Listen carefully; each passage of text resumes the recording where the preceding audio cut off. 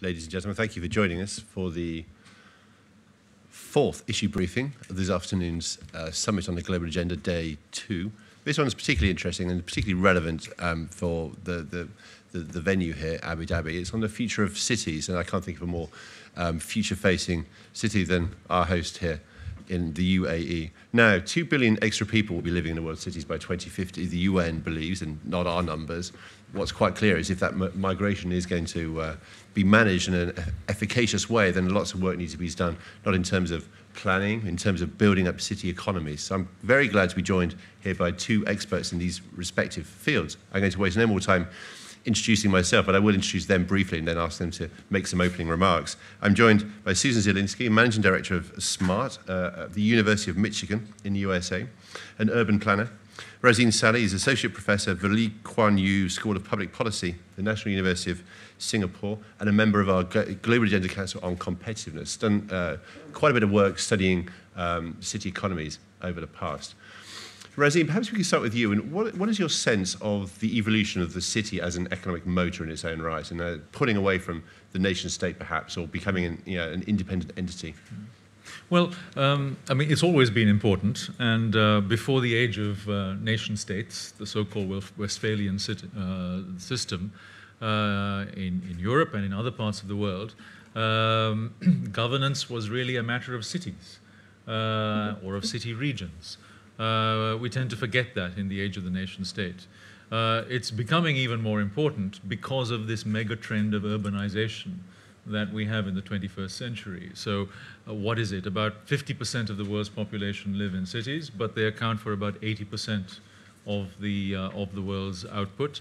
60% uh, of uh, uh, China will be urban in 2020 or thereabouts. Um, so, in that sense, cities are becoming more important, and cities are becoming especially more important outside the West because the projections are that of the urbanization that we're going to see over the next few decades, about 90 to 95% of it is going to happen outside the West.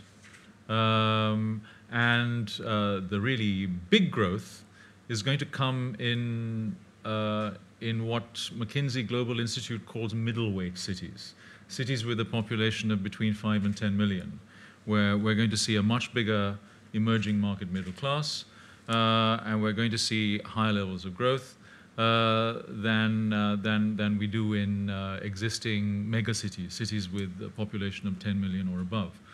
so for all those reasons, cities are uh, not only becoming more important as economic actors, but also as political actors, uh, how they're governed, uh, how they plug into the world economy. What are city economies doing right and economies doing wrong in general? What, what would you like to see as an academic studying the competitiveness of cities? What, what kind of best practices are many cities missing out on? Well, uh, uh, my, my, council, we, we, we, did a report on the competitiveness of cities last year. Uh, it's on the forum website. Uh, we covered about 35 case studies, some big cases, some smaller cases. And we, we had a simple taxonomy. So we looked at uh, the policies that regulate the business climate in these cities, firstly. Second, we, we looked at uh, the institutions of the city, in other words, the decision making framework. Thirdly, the hard infrastructure, you know, roads, rail, ports, airports. And fourthly, a bit more difficult, the soft infrastructure or connectivity, uh, including the digital economy. So we use those four, four pillars and also how they come together to assess how cities are doing. And our case studies are a mixture of uh, those that have been rip roaring successes, uh, like Singapore and Dubai, uh, those that have been failures, uh, perhaps like Chandigarh in, uh, in, in India, which was terribly overplanned. Um, uh, those that have succumbed to urban sprawl because they haven't got the governance and the infrastructure right, uh, all the way to those that have hit rock bottom and are attempting a turnaround. Detroit is one of our big cases. Uh, and the jury is out on Detroit because uh, it has hit rock bottom. It's only attempted the turnaround just in the last few years, so we'll see.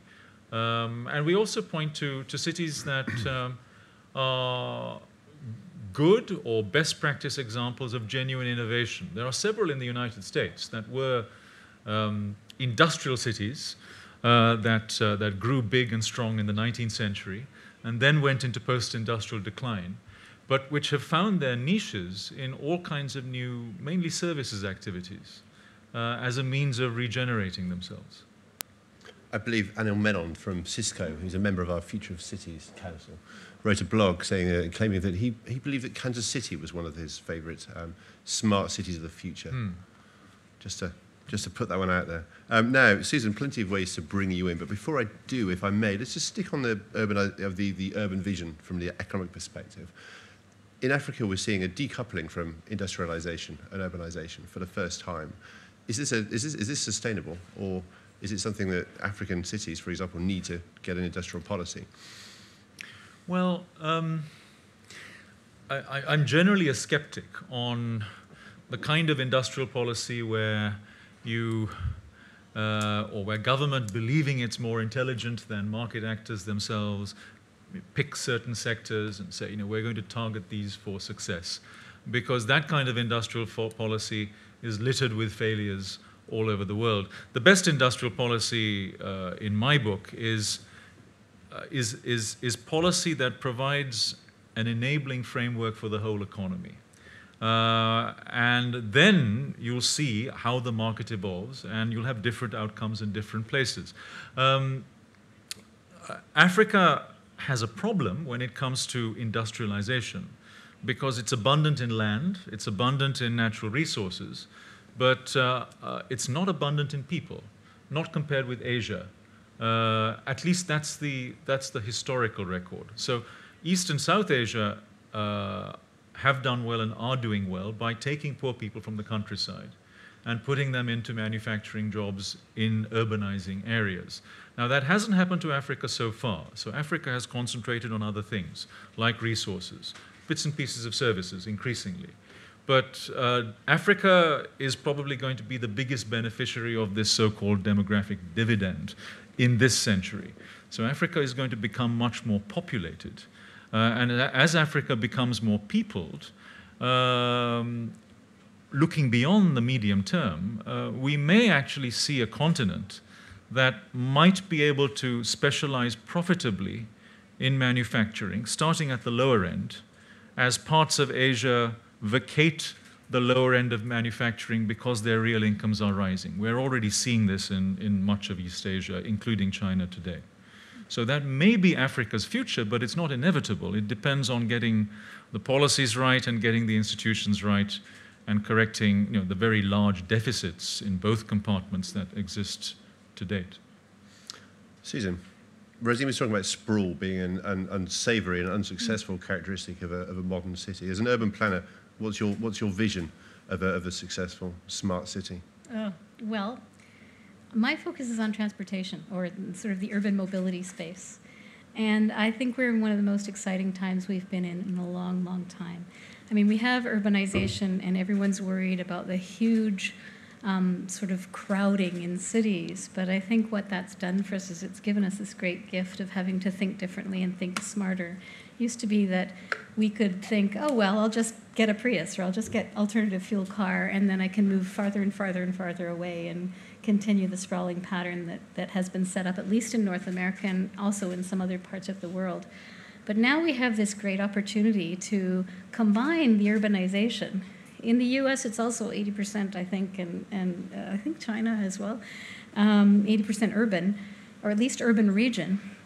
And the, uh, the mobility around that um, is, is mainly car based in the US. And I think what we've got is the situation of um, urbanization coupled with digital technology that allows for a much greater, more nimble, more door to door, multimodal, IT enabled transport system that doesn't require so much bricks and mortar. It doesn't require such huge kind of capital funding. It says, ah, how can we, first of all, look at what we already have, look at the system that's already connecting. What kinds of multimodal system do we have?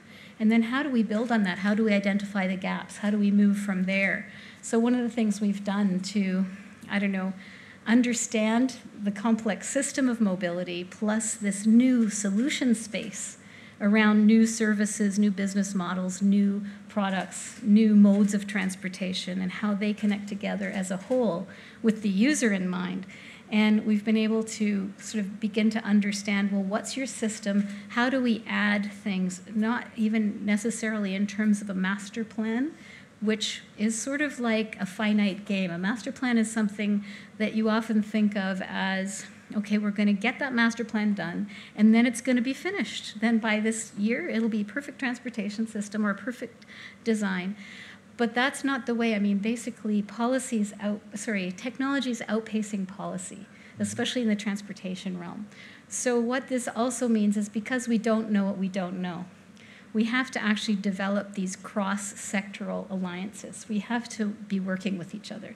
And so in, in, when we, in every city we've gone to, we bring together people across the different sectors that are related to transportation. And it's many more than you think normally. I mean, you think, okay, well, it must be the planners and mm-hmm. maybe some infrastructure folks, but actually it's a huge uh, industry cluster, the new mobility industry cluster, that's grown out of this sort of shift, this sort of industrial shift. So what we've got is not only manufacturing, but also, you know, transit energy, real estate, tourism, um, economic development, um, finance, and then all of these disruptive new mobility um, enterprises, the Ubers, the, the apps, the um, car share, the bike share, um, and a whole bunch of informal um, transportation op- opportunities that are being linked in with the rest of the system in a door to door way.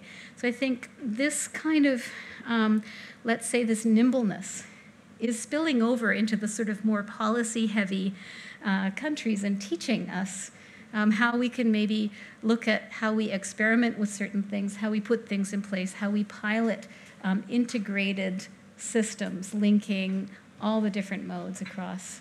And you know, I guess one of my favorite sort of frameworks for this is there's a person named James Carse who um, talks about finite and infinite games. And finite games are played with the purpose of winning, and infinite games are the play. And I think with transportation, it's something where we continually have to have the alliances there so that when the next Uber like thing comes along and confuses us from a policy point of view, from a social equity point of view, we're able to immediately know who we can work with, what kinds of immediate sort of technology support solutions to put in and what kinds of things we have to look at in the long term. What are the um, business models that you're most excited about? Let's put Uber to one side because we understand Uber. I think we just I've just about got my head around it. Um, what else? I mean, you study this area. It's a limo company, basically. yes, it's a limo company. It's and not it's, really the most innovative. even yeah, exactly. It even works in Geneva. what else is exciting in this space? Um, well, to me, the most, uh, you know, it's fairly obvious from what I've just said. The most exciting um, business models is what takes us from mode to system, right? Mm-hmm. So what we had before the information technology explosion went from it's not exactly typewriter to um, you know laptop, desktop, printer, camera, all these things working in a customized way in an interoperable way. But there are now business models. One of them is called mobility as a service. We used to call it new mobility industry or new mobility in general. But now mobility as a service has taken off. And um, so, for example, um, we gave an award. We have something called the Mobi Prize, which we award entrepreneurs uh, that are in new mobility, doing really cool stuff. But then we thought, actually, we should award cities and states that are incenting, they're doing what you're doing in terms of competitiveness or the, the uh, you know, encouraging entrepreneurship in, in this. And uh, so Scotland apparently has it in their constitution or their kind of act of parliament that they're to um, get their, you know, 100 million euro per year budget and have it matched to bring in tier ones and enterprises and have them all come together to develop these sort of different industries and, and opportunities that are going to link all the modes of transportation on a, on a platform. And there are a number of different platforms. I mean, we're also working with Finland and Sweden that have different approaches to those platforms, but basically to say, how can this platform enable this multimodal door-to-door system. So it's supported by national government. It's um, it's developed within cities and tested within cities in Scotland, and then it's going to be many of the different elements of it are going to be developed for export and developed with even some multinational tier ones. So to me, that business model is just bringing so many different things together. And from my perspective, what I what I love about it the most, and this is why I'm in this, is that um, it's goal based. It's like how what are the kinds of things we need to be achieving in this world? How do how are we going how are we going to live? What are our goals in this region? What, what, do, what, what problems do we need to address? Therefore, what kinds of innovations do we need to develop? As opposed to, we have this industry, how are we going to tweak these things and put them out in a different way? And that's really a stark comparison, but you know, and I really value the idea of um, building with what's there, and that's what we do. We sort of look at what's there and say, okay, what can we enhance and what can we make better? But I think in terms of how the, the business model has moved from something I, I can choose between a bus or a car into I can choose between one mode of transportation or a whole on demand a set of options that means I don't even have to own anything. I can get around whenever I want, and it's all seamless and um, flexible. And very briefly, how's Detroit doing, just to go back to Razeen? Well, I was going to say it is fantastic lately. I mean, the mood mm. has just changed. The mm. soul of it has just turned around. And I, you know, I can really feel there, the downtown, if you go to the downtown, it's already kind of shifted a fair bit, and mm. a lot more is happening. Got to go visit Susan. Razeen. Quick ski trophy questions. Um, Please do. Just wait for the microphone so our online audience can hear. Um, Frank Kane from the National uh, uh, uh news, newspaper in Abu Dhabi. Um, uh, uh, the whole idea of uh, cities being being created, you know, most of the great cities of the world began organically almost, you know, to mm. satisfy people's economic and human needs. You know, London, Paris, Rome, blah blah blah. Um, and uh, so, and and for every city that you've mentioned as a great success, I, have been recently created Abu, Abu Dhabi, Dubai, Singapore. We have Canberra, we have Brasilia, you know, which which which are uh, uh, urban, urban disasters mm. really. Um, so you know, I mean, I mean, that's one question: How far can people, uh, you know, artificially create cities? And secondly, it seems like the ones that have been successful uh, have been created in rather undemocratic places. And I'm wondering if a lack of democracy is a prerequisite for urban success. Mm. It's a good question and a difficult one. Uh,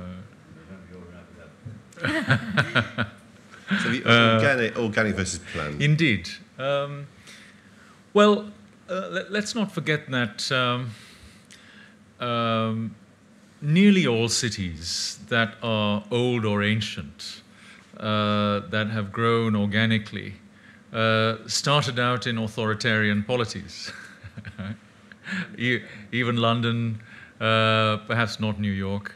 Uh, well, New York under the Dutch, yes, um, and, and others besides. Um, uh, I, I, would put it this way to, to, to, try, to make a stab at answering your second point. Um, it depends very much on the stage of development. If, uh, if you're a poor country or city or region, uh, you can grow fast, uh, you can have catch up growth by getting the basics right, and that can happen under a variety of political systems.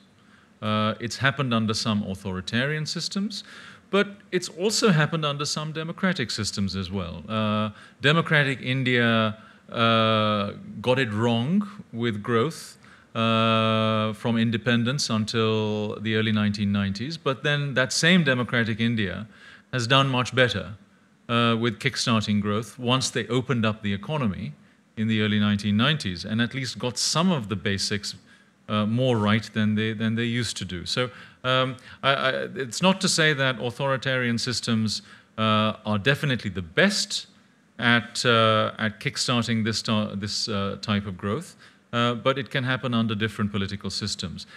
It, the answer, my answer, I think, uh, becomes somewhat different when you're talking about growth that depends more on productivity and innovation. In other words, doing new and creative things, as opposed to growth that's about catching up, when you're basically copying what others have done.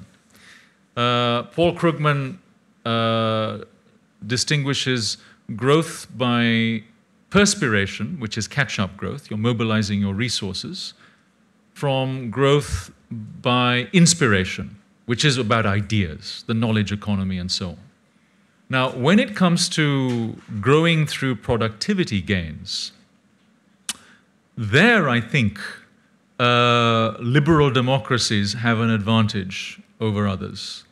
Um, because the kind of institutions that might deliver catch up growth are not necessarily going to be the institutions that deliver ideas based growth. And uh, this is, uh, it's not just a question for many, uh, many uh, states in the Middle East, but also for China. Is China really capable of getting out of this middle income trap and becoming an advanced country with a pretty static Leninist political system? I have my doubts about that. Uh, that system was enormously successful at delivering catch up growth. But without checks and balances, uh, without openness, without transparency, uh, without a free and open society, can they really deliver the kind of sophisticated growth that we have seen in the West, uh, or even in places like Hong Kong and Singapore, or Japan and South Korea and Taiwan? Uh, and that, uh, that lesson applies to cities as well.